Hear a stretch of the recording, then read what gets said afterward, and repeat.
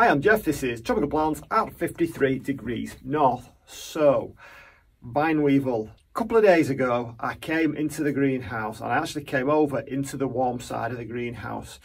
And as I do, I look for slugs usually. They're the, the usual culprits that cause me problems. And I noticed at the top of a Tradescantia, and I'll show you some footage of that, I noticed some of the leaves have been bitten away, like little jagged chunks of the leaves bitten away. And it didn't actually look to me like the usual slug damage.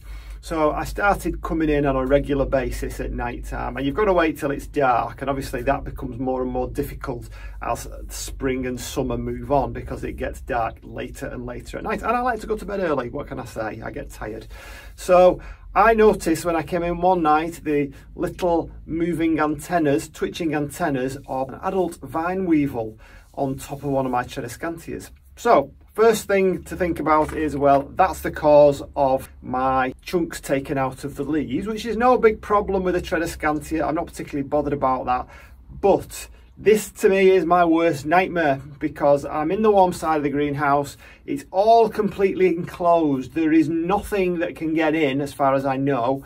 I have been through this side of the, I've been through the whole greenhouse with a fine tooth comb and looked really carefully for all the holes and sealed all the holes up. So what does that mean? Well, for me, it's a disaster because it means that there is some, or there are some vine weevil grubs inside some of my pots.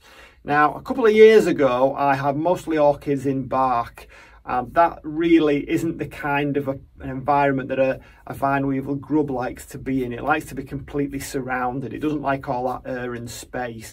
In fact, the adult vine weevil will not lay eggs in that kind of an environment. They will, they will lay their eggs in like a fine compost. So I have no idea where they've come from. I don't know how they've got in here unless the eggs were already in either there's some compost or they were already in uh, one of the plants that I've bought but that vine weevil, I think it's highly unlikely that was only one. So anyway, didn't do anything about it other than obviously squished it.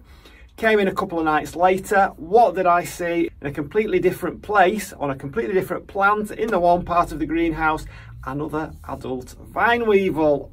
Ah, what does this mean? Well, I think it's really, really unlikely that out of this space here, there are only two vine weevils, and I just happened to come across them. I mean, they're only tiny, they're only about a centimetre long, so it's really unlikely that there are only two. I think it's far more likely that there are several and they've either hatched out from some grubs, some grubs because I have lost a couple of plants this year now maybe they were eating the roots in there, I don't know. I've emptied all these pots out and I couldn't actually find anything of the ones that had died.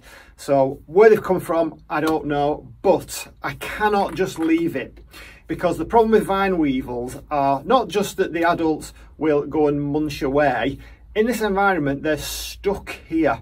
Outside it's fine, they can go and nibble on a plant, they can go and lay their eggs. The grubs which only eat roots can eat the roots and move on to another plant. So you don't really notice. But when they're in an enclosed environment like this they're stuck here. What are they going to do? They're going to go inside my pots and they are going to munch away all those roots. And the first I will know about it is when that plant collapses.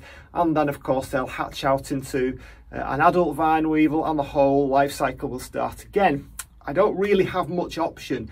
As far as I'm aware, there is no organic method here other than emptying every pot out and changing all the compost. It's just not practical. It's not going to work.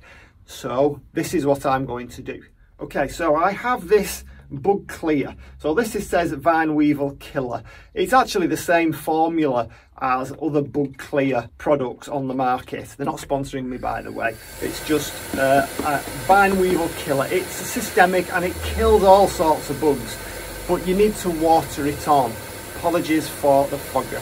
So what I'm going to do here, I'm not going to put a little bit of this into one watering can.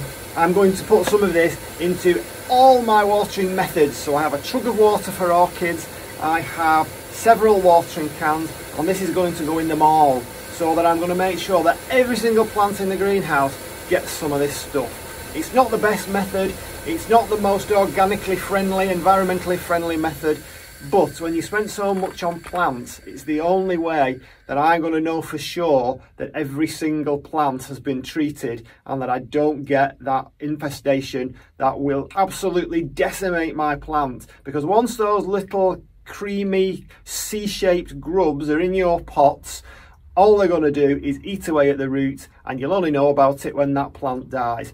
Tradescantia aren't so bad because uh, actually it would be an interesting experiment to see which was the fastest, whether the grubs could eat those roots quicker than they could actually create them because Tradescantia are pretty red hot when it comes to creating new roots. Interesting to see, but I don't want to see it in my greenhouse. I want to see somebody else do that experiment. So that's my job for today. I'm going to make sure that all my pots, anything that I water, uh, the water gets some of this inside it and then over the next week or so, or the next fortnight, as I water plants, every single thing will get some of that. The problem is, if these two adults that I've caught have just laid some eggs, then maybe this won't kill the eggs off. I don't know. So I'm going to have to take my time over it and make sure everything gets at least a couple of waters with this stuff, and then hopefully it will solve my problem for me. Just one of those things with greenhouse growing, yet another problem with greenhouse growing, yet another thing that we've got to cope with. So that's what I do about it. Let me know in the comments what you do about vine weevil if you have that kind of problem. And for now, I'll see you on the next one. Bye.